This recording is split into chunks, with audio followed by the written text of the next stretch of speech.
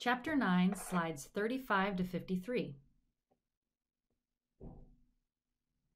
The last mechanistic motif we're going to cover in this chapter for the reactions of alkenes is SYN4. Now this is very similar to SYN3, except we're going to be adding two atoms across the pi system.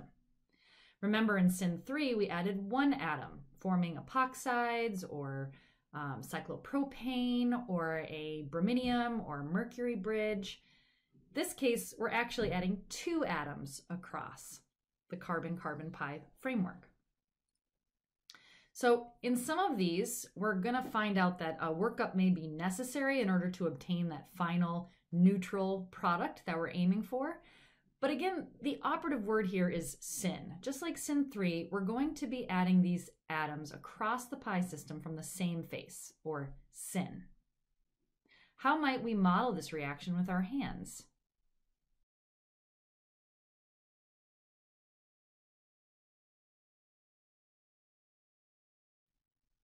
Because again, we're dealing with the alkene, which is an sp2 hybridized carbon system, we have a trigonal planar framework to contend with again. So these atoms can either add from the top or bottom face, as you saw with the hand model.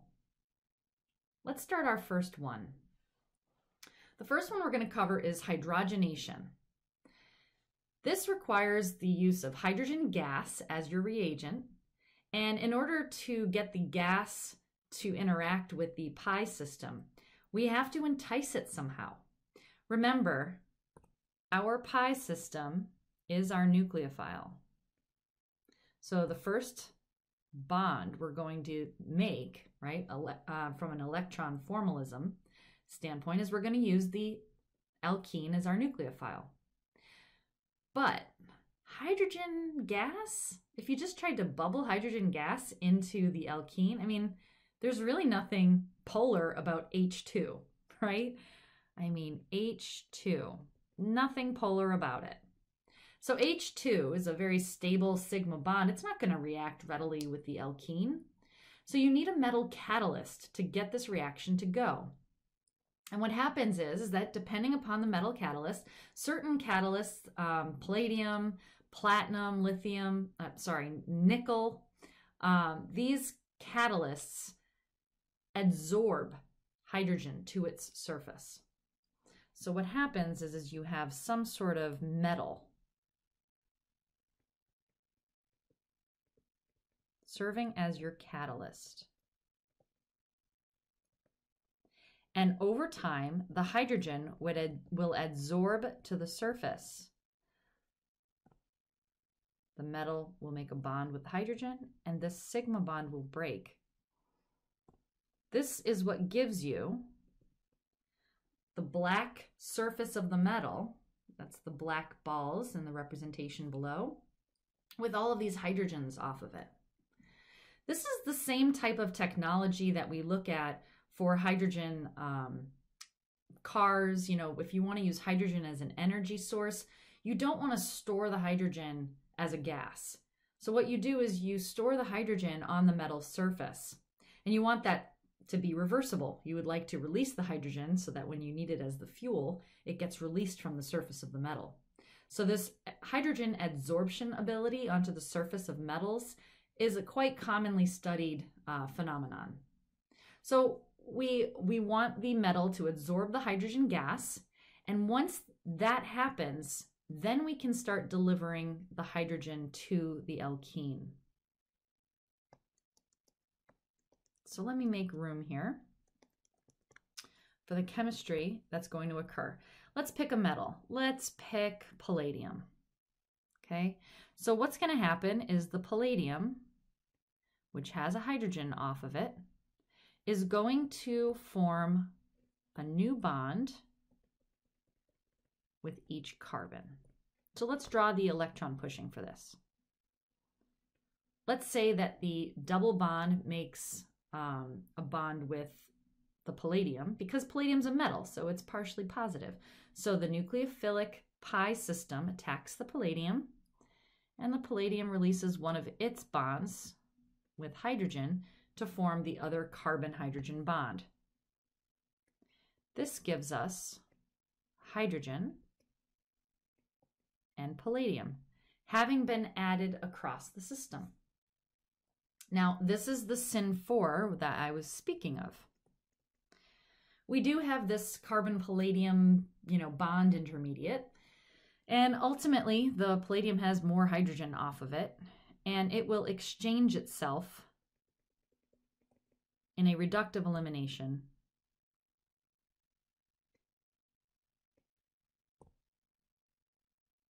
to give us the final hydrogen hydrogen product. So what we're finding is that the two hydrogens that were delivered across the carbon-carbon bond were delivered from the same face, SYN4.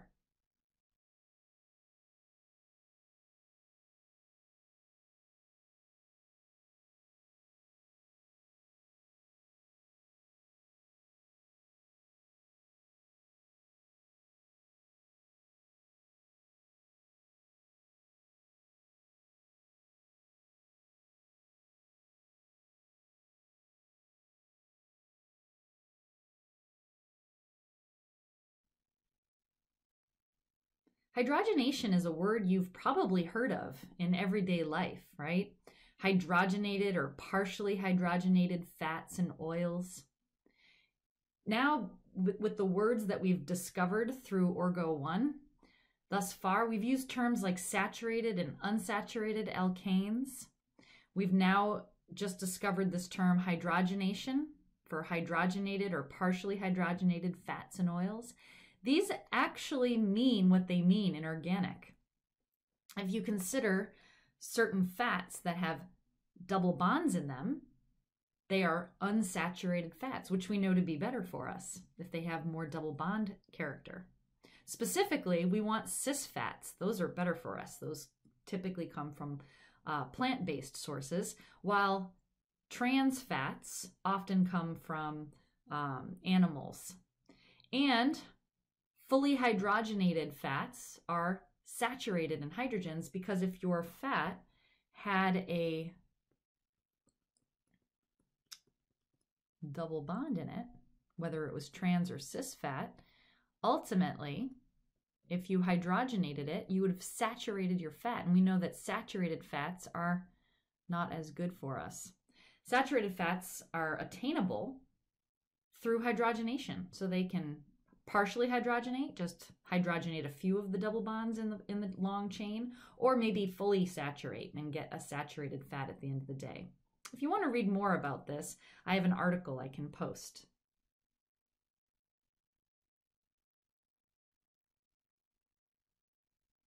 Here's some practice for you. Hydrogenate the following alkenes and show the major products formed. What happens when you're hydrogenating an alkene that's in a ring? This gives you some practice as well. And I want you to note that the last one on this page, C, has one major product. This is taking things a step up for you guys. Perhaps you might want to make a model of the starting material and try to, using your hands, hydrogenate and find out what the major product might be. The next SYN4 mechanism we're going to look at is called hydroboration. Now, this one is kind of fun to think about. Why? I'm going to remind you about two reactions we've studied. We've studied oxymercuration with water, followed by sodium borohydride workup. We've also studied acid and water. Either one, if you did the acid and water hydration or oxymercuration hydration, you're going to get the same product. You'll have added a hydrogen on the one side and ultimately the OH on the more substituted position. So I want you to just remember this. Keep this in mind. Now we're going to look at hydroboration. Hydroboration is a very interesting system. We're going to be using a borane species, BH3, and I want you to think about BH3 as it is geometry wise. What's the hybridization of boron if it has three hydrogen bonds? Think about where it is on the periodic table. It has three valence electrons. So if it's bonded to hydrogen, then it's totally happy. However, it only has three electron domains around it. So boron, let me draw it a little bit better, is actually sp2 hybridized naturally. It's trigonal planar, sp2. Okay, so what's going to happen is that we're going to think about the hydrogen and the BH2 as two parts of the landing ship for SYN4. Okay, which part, if I want to deliver a hydrogen, the blue one, again, it could have been anyone, but the blue hydrogen, and the yellow BH2 on the other side, the boron and the hydrogen are what are the two atoms that are going to land SYN4 across our pi system. Which atom, yellow or blue, is going to be less sterically hindered? Well, hopefully you recognize that the hydrogen is smaller. It's the smaller end, right? And we have some steric hindrance considerations. So one carbon has more steric hindrance with those two methyls off of it than the other side, which has two hydrogens off of it. So the way that I'd like to orient this BH3 molecule to deliver a boron and a hydrogen across my system is that I'm going to put the boron over here and the little hydrogen over on the left.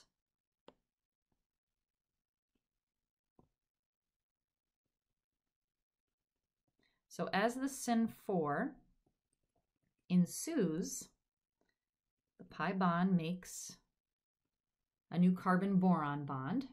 The boron releases its bond to form the new carbon hydrogen bond. Great. This is my SYN4.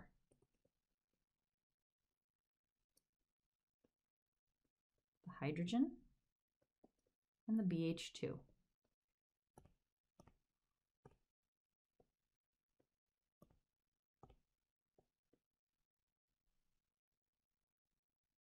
Let's take a look at how this can work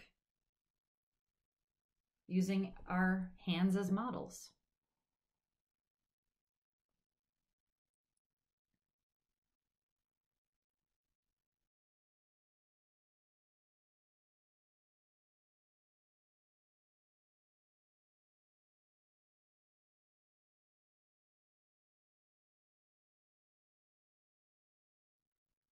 Let's take a look at the borane.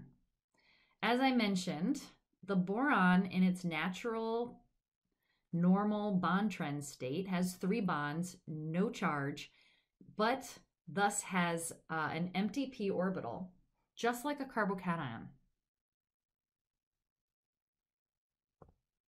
Remember in the last set of slides, we used a reagent called sodium borohydride. Understanding this borane as a three component system in its neutral state, I want you to consider what BH4 is. Boron is outside of its bond trend. It has four bonds. It's unhappy, so it has a negative charge. The counter ion is thus sodium. So this is an ionic salt that when you put it in solution, boron is so fickle, it does not want to have that fourth bond. So when you put it in solution, the boron kicks off one of the hydrogens so it can go back to its borane state.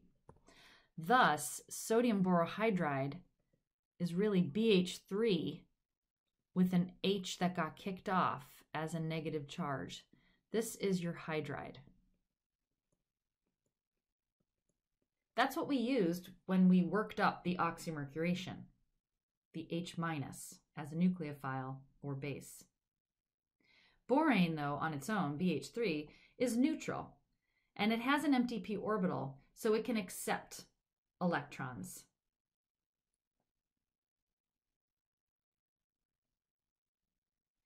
What I want you to see now is that the borane that we made here, our product, is neutral.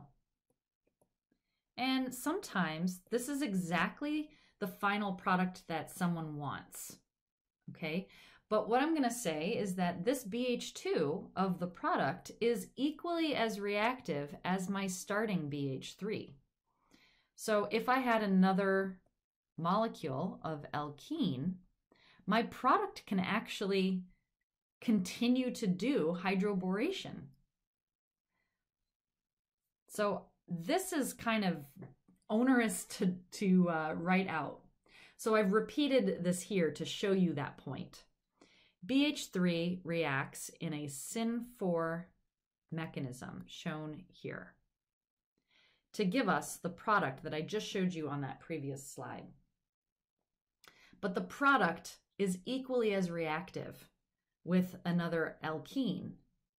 So understand that there's two hydrogens off of this boron, right?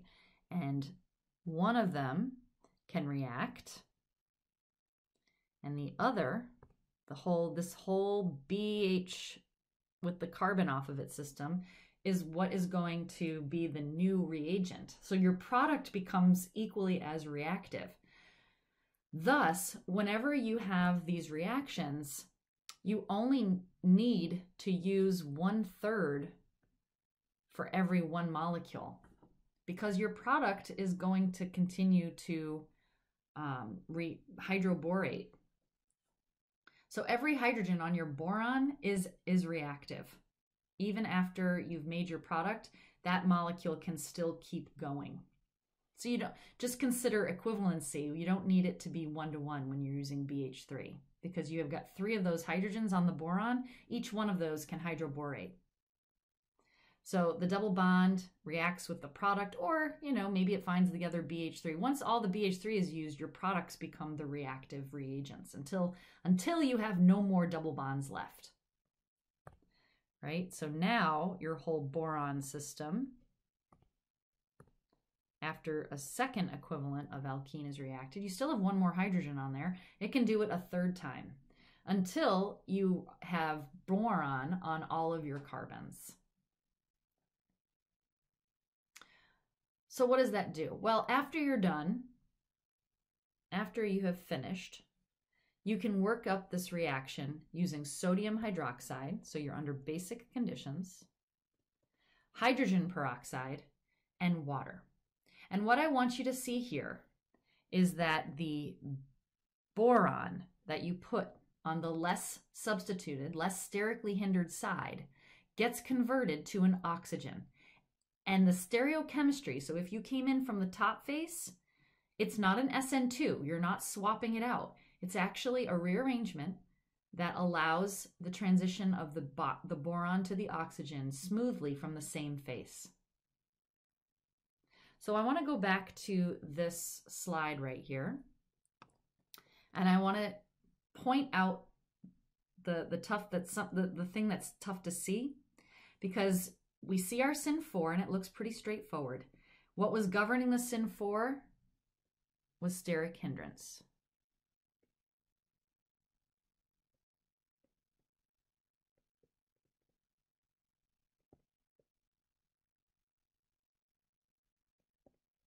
Okay?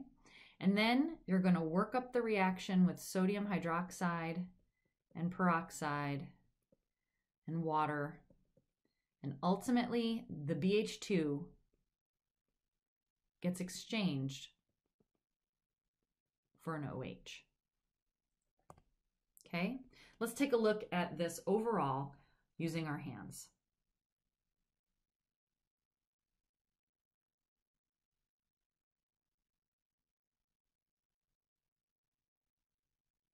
Now, how does that happen? How does the BH2 convert to the OH and not lose the stereo, stereochemistry, the top face or the bottom face? How does it smoothly transition? Well, I don't want you guys losing sleep over any of this. So I'm going to cover the mechanism for how this happens so that you know it's not fairy dust and magic, but you're not responsible for writing out the entire mechanism for this system, right? Because this is this is sort of an onerous thing to do.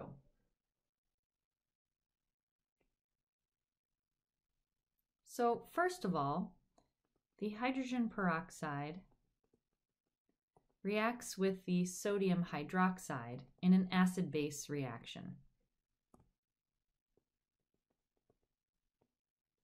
The sodium hydroxide deprotonates the peroxide, forming this nucleophile. Remember what I said about boron. It's sp2 hybridized. It does have an empty p orbital, so it's very electrophilic. It thinks it wants an octet. So it accepts a bond from the peroxide.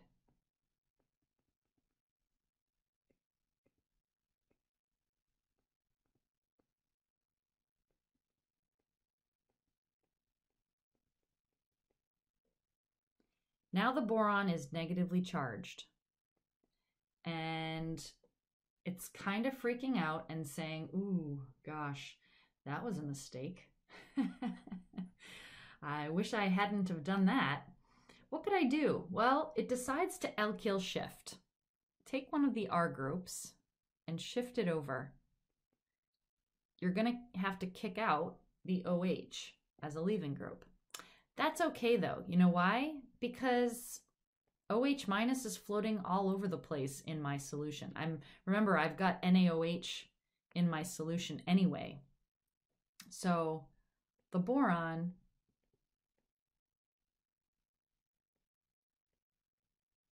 kicked off OH minus and is now having an, a, a borate ester, BOR. All right, well, let's repeat that. The OH, the um, oxygen of the peroxide, attacks the boron. Fickle boron. Boron gets rid of its fourth bond and then goes, oh, look, there's another O minus. I'll react with that. Come on over. I'll accept your electrons. and the whole process repeats.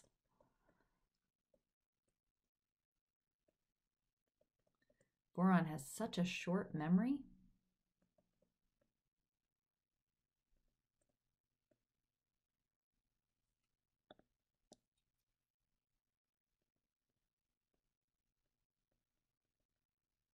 Then it freaks out. I'm negative again. Oh no, what do I do? Well, it alkyl shifts pushes out another OH minus.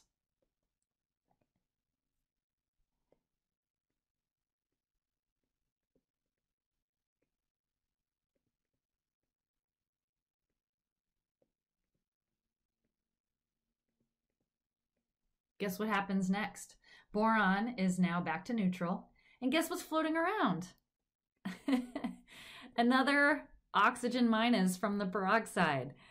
And the boron is like a goldfish swimming around, forgetting that it just saw the same castle and it's excited again. Oh, I'll take you. No problem.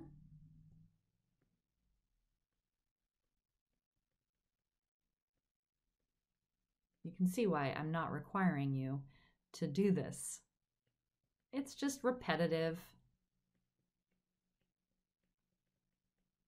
The boron's negative again, four bonds, and it freaks out and it alkyl shifts. But this time we're going to do it with our system.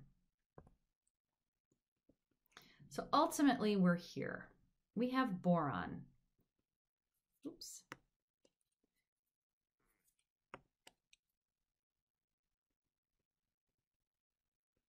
With all of the groups around it as a borate ester boron, oxygen, carbon, boron, oxygen, carbon. So that's what happens when you hit those reagents. You can already see now, can you see just in the fact that we started with a carbon boron bond, now we have a carbon oxygen bond. So it doesn't take much now to get the reaction to release the boron. So what's going to happen is that um, the OH minus, because again, it's not going to get us anywhere. You can try it, but if you try to react with a peroxide, it's just going to be reversible at this point because there's you can't do any alkyl shifts anymore. There's no more alkyl groups off of the boron. So what happens is that over time you end up with sort of an SN2 exchange and ultimately it pops off every single one until you have O minus on all of your alkyl systems. So it does this until the boron has exchanged all of them again. Popping off your O minuses. And then you work it up. You work up the reaction under a little bit of acidic media. And you have your desired alcohol. So that is the reaction so you can sleep at night. Okay, how the exchange works. What are you responsible for? Oh, well, you're responsible for this. The SYN4 that we're seeing, governed by steric hindrance, and then understanding that the second step, the addition of sodium hydroxide and the peroxide in water, will exchange the BH2 through a series of rearrangements to give you OH from the same side the BH2 was delivered. That's the bottom line. There are a lot of different hydroboration reagents out there. In fact, some of them only have one hydrogen on them. So you can see the boron is, they can bulk it up and really enhance the regioselectivity of these reactions. And in these cases, they have to add a stoichiometric amount so you can't do one third. There's only one hydrogen. So you, these reagents, if you buy these reagents, the the bonus for them is the fact that they're very sterically hindered, so they they really only deliver it selectively from one side. Right? You're you're only going to be delivering this once across a sterically hindered system. The hydrogen is going to go on the less sterically hindered side. The boron with all of its junk in its trunk, right? Like you're going to definitely line that up on the outer carbon with less steric hindrance for the SYN4. And because there's because the, the way of these are designed, you can only deliver one boron and hydrogen from the starting material reagent. So in in these cases, you need a one to one ratio. You know, you can't hold back on the on the borane. So we will see these reagents again in, in a very similar way for alkynes. Okay, and we tend to like these very bulky systems when we talk about hydroboration of alkynes. Can you see why we might want to bulk it up a bit more in an alkyne scenario? Right now that it's linear in an alkyne, trying to um, favor one side over another. We don't have as much steric hindrance in an alkyne as we do in an alkene with two carbon groups off of, say, one side. So we, we actually need to make the borane system a lot bulkier in order to facilitate and have regioselectivity for these alkyne systems in order for them to work a little bit better.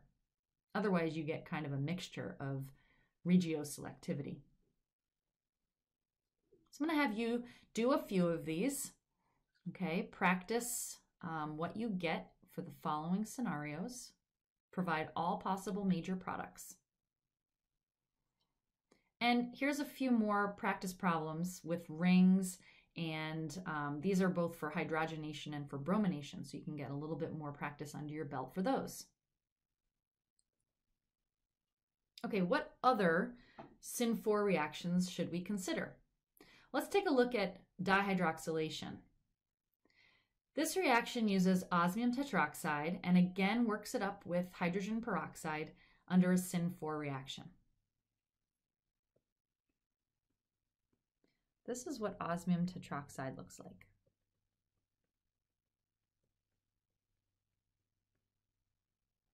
Wow. Again, we're dealing with um, a very interesting met metal system. We're going to deliver two atoms across the pi bond, and let's push the electrons. A new carbon-oxygen bond breaks the pi bond, giving it to the osmium, and the pi system of another osmium-oxygen bond breaks and forms the new oxygen bond. You end up forming this intermediate.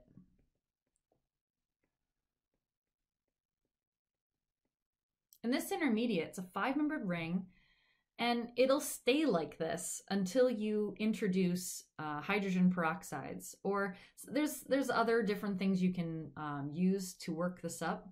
But ultimately, what you're trying to do is um, have something that's more stable to the osmium react so that it'll exchange and pop off. You can kind of think of it like an SN2. We essentially want something to come in, whether it's the hydrogen peroxides, sometimes people use dimethyl sulfides or triphenylphosphine. You can use lots of different things to come in and basically exchange off one of the oxygens. So it's usually in this 1B that we get the exchange and the workup with some acid to protonate gives you two oxygens, two alcohols, dihydroxyl, as your final product. And the OHs are both on the same side. This is more, um, I guess, obvious when you're doing a ring for dihydroxylation because ultimately your product here will give you top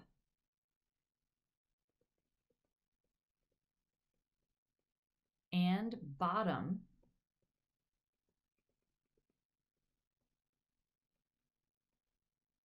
facial attack.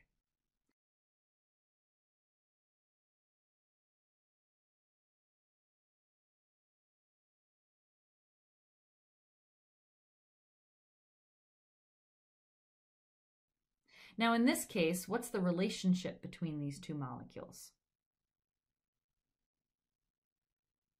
Hmm. Well, there are two stereo centers, but there is a plane of symmetry internally. So this is a meso compound. Therefore, these are actually equal. They don't have an enantiomers. So if you pancake flip it, they are indeed the same molecule. So these are the same molecule and you just get one major product for this case. You have to take it um, each example on its own. Another very similar reaction where you get the same product uh, is with potassium permanganate. Potassium permanganate looks like this.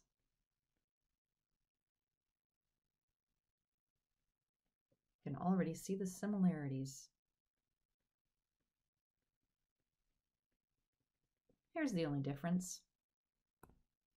But it adds SYN 4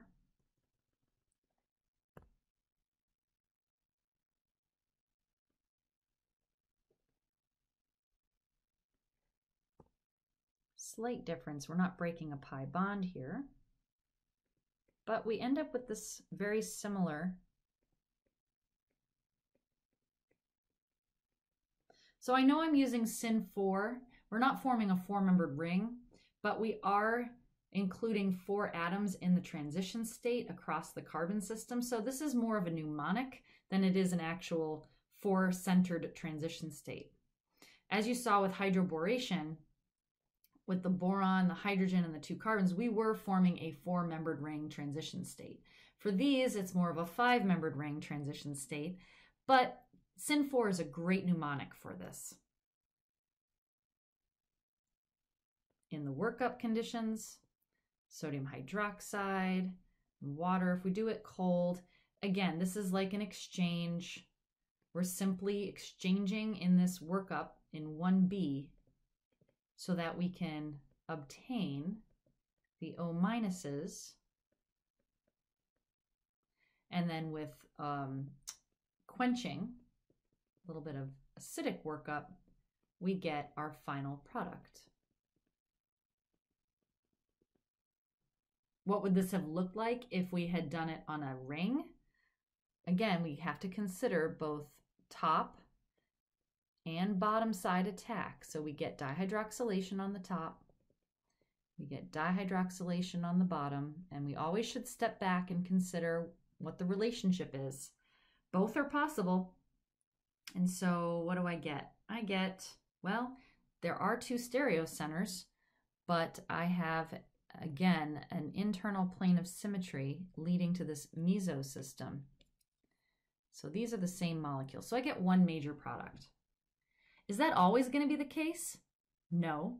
You have to just do the chemistry, take a step back, and figure out what the relationship is, but you have to consider both front and back or top and bottom side attack.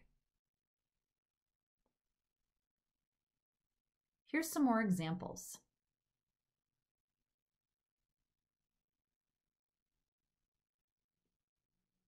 The last reaction we're going to consider is called ozonolysis. It also follows a SYN4 mechanism. Now, how does this work? What you're going to be responsible for, for me, is the first step, 1A, that ozonolysis. But, you know, I hate causing you grief. I don't want you losing sleep over how 1B occurs, so I'll show you the whole thing. But I really want you to be only responsible for 1A. Why? Well, because the first step is where the SYN 4 magic happens.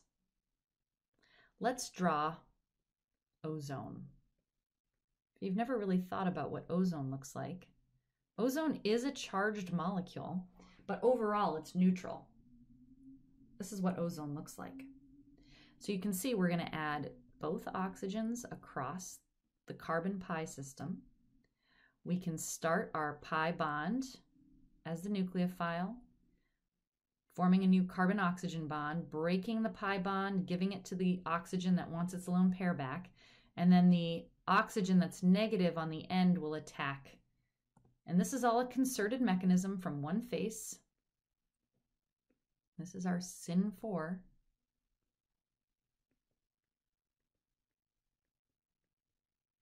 Providing us this ozonide.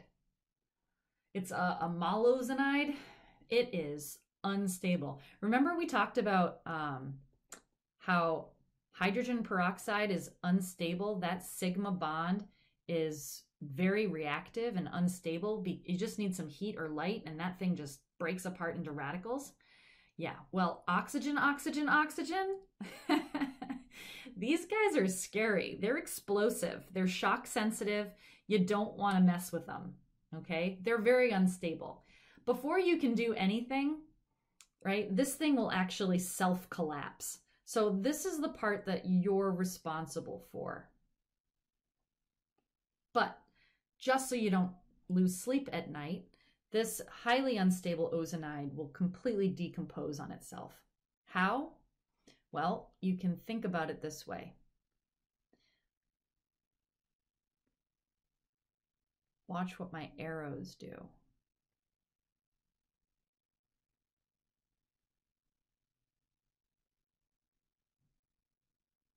Okay, the following decomposition ensues. I'm going to give you carbon 1 and carbon 2 so you can follow along.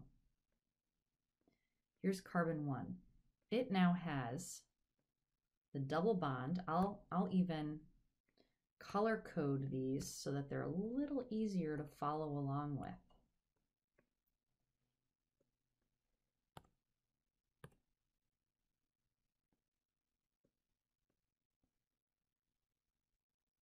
Kind of a fun mechanism to follow.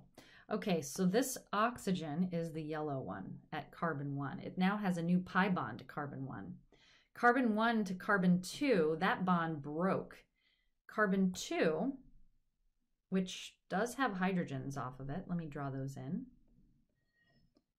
The hydrogens at carbon 2 now have a double bond to the green oxygen. Okay, and then the electrons, oh, look at the carbon, um, sorry, the oxygen bond up here, he's still connected to the yellow. I didn't have any bond breaking of that bond. So, but it is now negatively charged because it gained those electrons. So these are the two uh, units that are decomposing um, into once that ozonide ensues. Now these decomposed fragments now are actually attracted to each other. So this is kind of cool. The negative charge of the blue oxygen is attracted to the electropositive carbon 2. So what happens is, I'm just going to redraw these.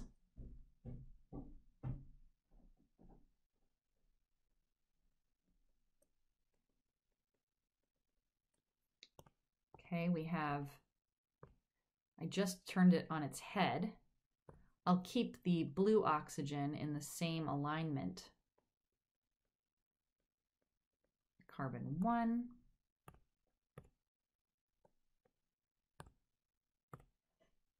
Blue negative oxygen is attracted to the carbon that's partially positive. And then that pi bond breaks and forms a bond between carbon 1 and the green oxygen. And then the pi bond breaks and goes into the oxygen here. Oh, I forgot a positive charge. The oxygen down here is not happy. It's got three bonds. Where does that get us? Oh my goodness, this is crazy. I have a new, not very happy system. but it's better than the first ozonide, I'll tell you that. I at least don't have three oxygens in a row. Now I have two oxygens in a row. So I have a peroxide in the system with this other oxygen down at the bottom. So this is an ozonide, and these are unstable. These are shock sensitive and explosive, so those you have to be careful with.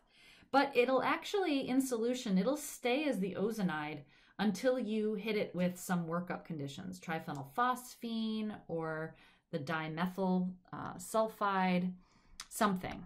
But you just don't want to drop this puppy. They're a little scary. Okay, so now it sits there until you deliver triphenylphosphine or dimethyl sulfide. I used to use I used to like to use the dimethyl sulfide. I know it stinks, but the more you oxidize sulfur, the less stinky it gets. So this is one of the few reactions that I knew would work.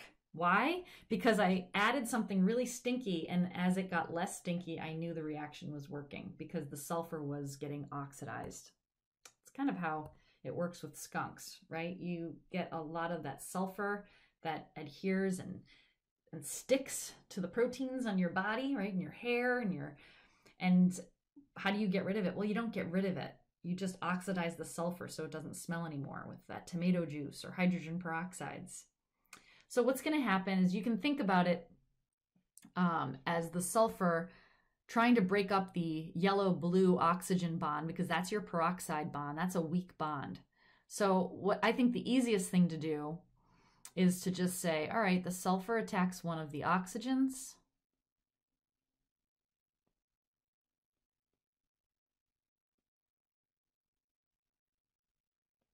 And you end up with something like this. Whew. All right.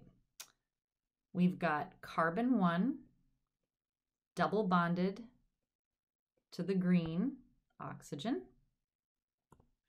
We've got carbon 2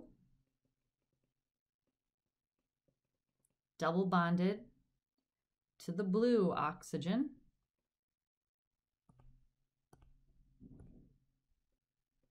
And the sulfur is now double bonded to the yellow oxygen. Still stinks a little bit, but not like dimethyl sulfide, which smells like rotten eggs. The two things that I'm interested in are these two products here, carbon 1 and carbon 2. They are now carbonyls. Oh my goodness. How am I going to figure these out if all I'm responsible for is the SYN4 mechanism of the first step? all of the rest of this stuff, phew, that's a lot. Okay.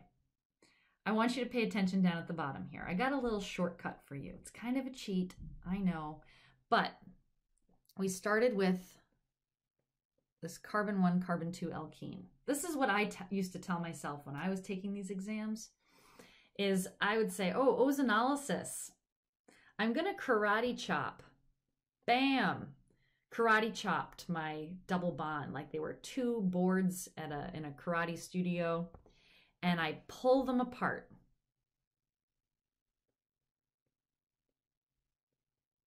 So again, I have my hydrogens on carbon 2. So I karate chopped, right? Karate chopped it. Pulled them apart. Oh, and I they're bleeding. Oh, they're bleeding. What do I do to stop the blood? Oh, well, you put an oxygen bandage on it. So then I would cap it with an oxygen. Ta-da! I have just made my carbon 1, carbon 2 products. End of story. So that that's my little trick for you to, to do these pretty quickly is karate chop the double bond, tease them apart as if they were as if they could be, and then cap them with oxygens. Cap the cap the bleeding wound with those oxygens. Okay? You'll find that this trick is actually quite useful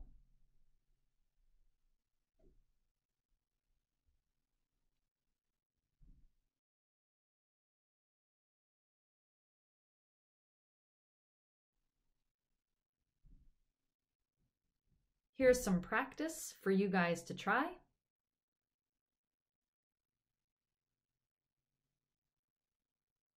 Here's some ozonolysis practice for you to try. Come on, karate chop them all and cap them with your oxygens. Okay, so you guys are going to give me those. Oh my goodness. We've reached the end of alkene reactions. There's probably more in your textbook, but we're not going to cover every single one. These are the major ones that I want you to know. Here's sort of a, I call these explosion charts. Looking at the middle, we've learned a heck of a lot of reactions in this chapter. I mean, a lot. We've learned to hydrogenate. Oops. We've learned to hydrogenate a double bond. That means you're adding hydrogen-hydrogen across. We've learned to add an acid with different um, different acids and and if there's no solvent that's given, we've added a halogen and a hydrogen across. We've learned to hydrate using water in an acid or an alcohol in an acid to, to make ethers or alcohols off of our pi system. We've halogenated and added two halogens across the pi system. Hydrohalogenated halo ether halogenated. I mean, look at the different things that we have added across our pi system. Oxymercuration can add these. Peroxy acids can make epoxides. Hydroboration adds OH and H, but in a different regioselectivity than hydration does. We can open up epoxides and that's interesting, right? We just, if you open up an epoxide, you get anti-addition overall because you backside attacked.